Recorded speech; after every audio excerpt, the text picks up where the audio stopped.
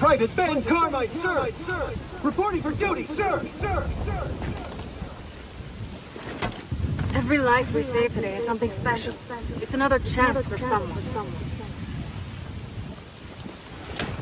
Go forth and bring back the hope of humanity!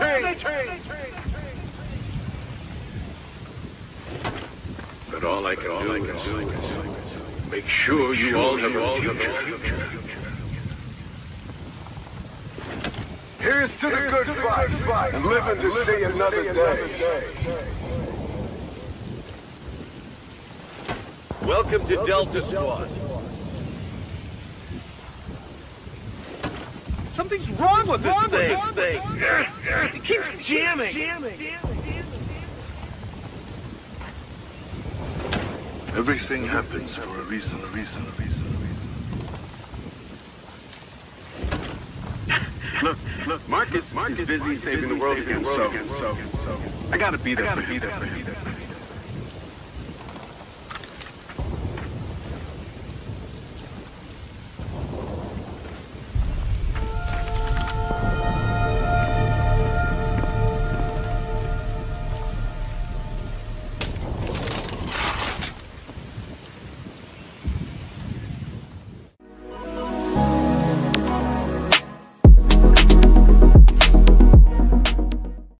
Yo, how's it going guys? It's Abz here and welcome back to another Gears of War lore video.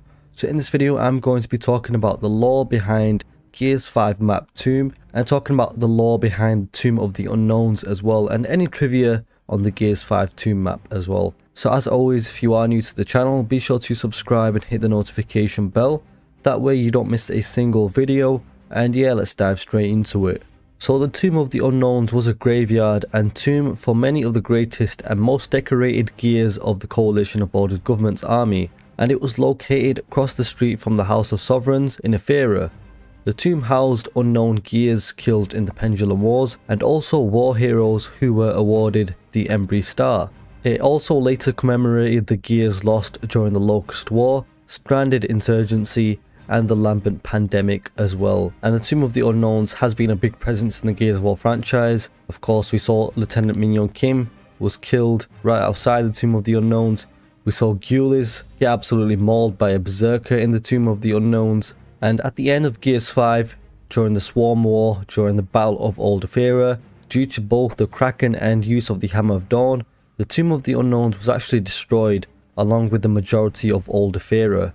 So the Tomb of the Unknowns was part of Old Ephyra and that was destroyed unfortunately. So let's go through the Gears 5 Tomb map. I want to walk through through it and just give my thoughts as we go, giving lore tidbits and things like that. So let's go. So here we just enter through the spawn. Um, look at this cog gate right here, looks pretty cool. Really Gears 1 vibes right here and I love it. I absolutely love it. Over here, look at that, looks so cool. Attention to detail is really great. That's really good. Same on this side here. You've got the cog symbol pretty much everywhere. More gears. That looks pretty cool. So what does it say here? In everlasting gratitude for the ultimate sacrifice upon the field of battle. Damn. This map is awesome. And listen to that. Gears of War OST from the original Gears. Damn, that is amazing. I think it's gone. Got a gear helmet there. We've got a retro lancer there.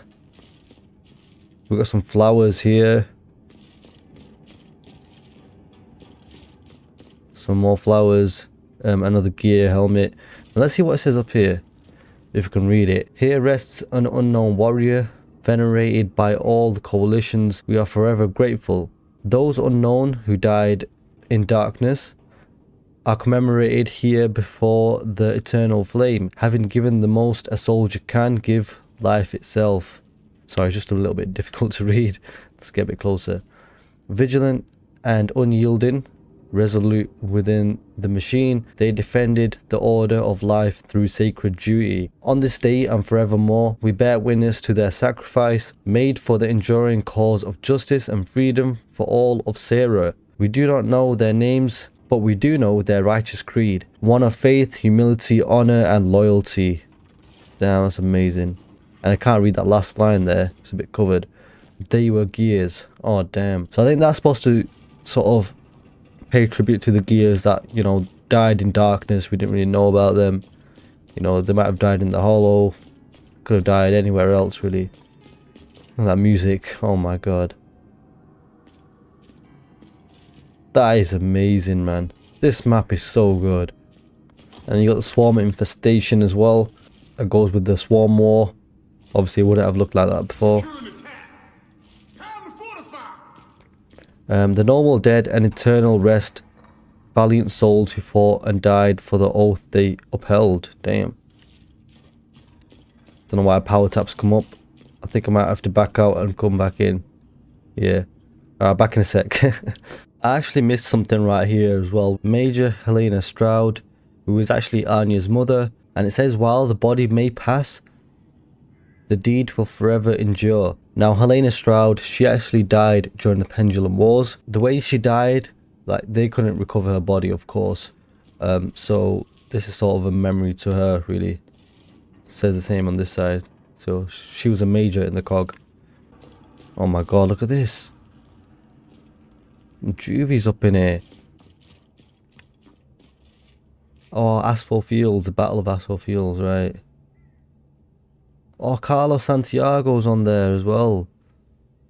And Dom, and Helena Stroud, and Hoffman. Uh, who else is there? Can't really see who else. Look at those little details right there. Gotta love it. So look at all these names we've got here. Heroes of the Siege of Anvil Gate. Oh, okay.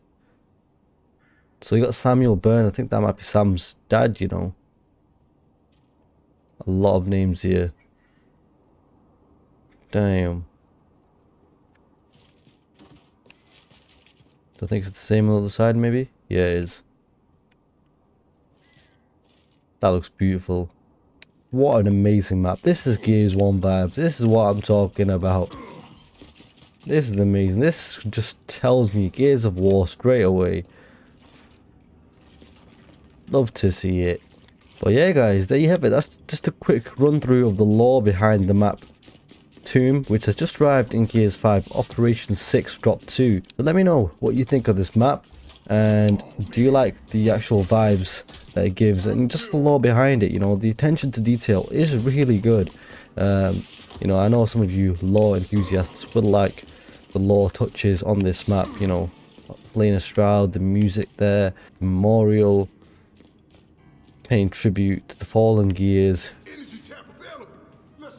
um, we got you know paying tribute to Anvil Gate as well uh, the Pendulum Wars, Asphalt Fields, amazing stuff. So yeah guys, if you did enjoy this video, be sure to drop a like, and Wave 1's about to start, so I'm to get the hell out of here.